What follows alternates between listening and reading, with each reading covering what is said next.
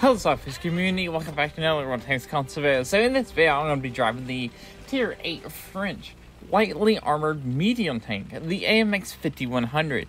Now, this tank used to be classified as a heavy tank, then Wargaming reclassified it as a medium tank, which doesn't really affect the tank at all, but it does affect how it's matchmaking, how it's matchmade, how its matchmaking works.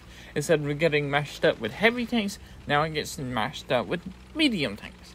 Also, I'm going to show you that this is a bottom tier matchup in the 5100.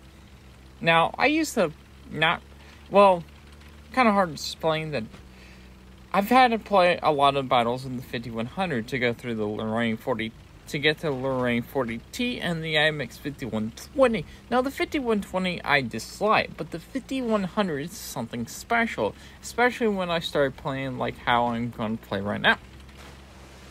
So, I put armor angling, and I believe this tank gets advanced armor to reduce the damage that I output, or that in, in comes to me. So, my thinking with this tank is I'll take a hit, sure. And I have armor angling and the advanced armor to reduce the amount of damage that comes into me. Then I'll take the one hit, but then I'll put as many shots as I possibly can without taking a second hit. And hopefully it does more damage than what actually happened to me. Because I do have such a big clip. Each shell doing 300 damage per shot. Is it 300? Yeah, it's 300. Now, right there wasn't a good trade. Um, got hit twice and only put 591 damage. That's not a good trade out there. But uh, the inner clip reloaded. This tank is 2.73 seconds. Aim time is 3 seconds. Shots per clip is 6 for a potential, potential damage of 1800.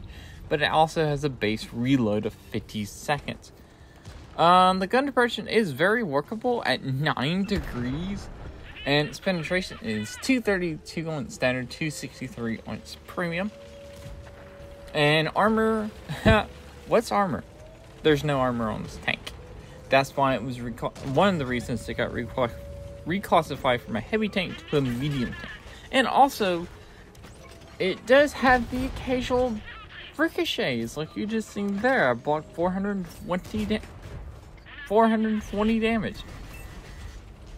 Now I'm taking a lot of hits, and there's another ricochet. It does, it, it can actually block shots, surprisingly. Um, what else? You pretty much play this tank as you take one hit, you put as many shots as you possibly can in before taking a second hit, or you can do that flanking position that I'm doing right here, combined with the first method I said, and just stay on the sides and wait for the, the enemy team to shoot your friendlies and you put shots into their sides. Especially when you don't really have the armor and stuff.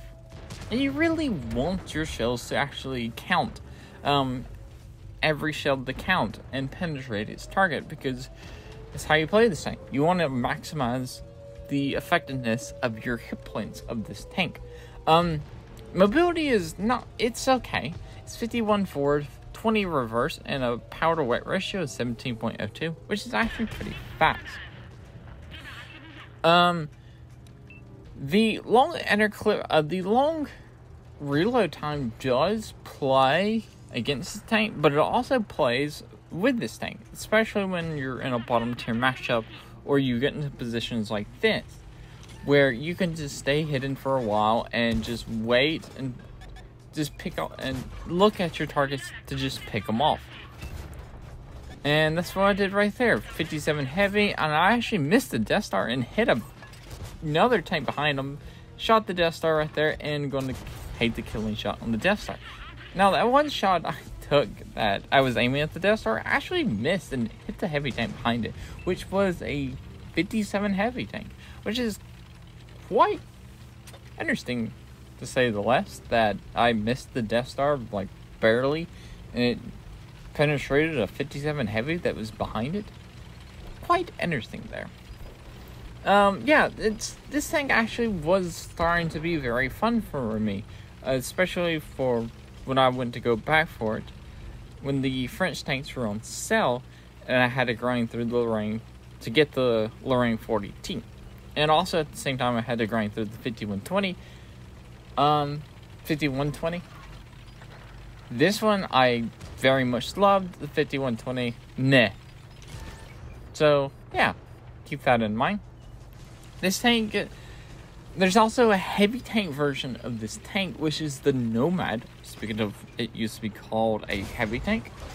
You can always play the heavy tank version of this, is the Nomad with one less shot. I think with a better reload for that one less shot.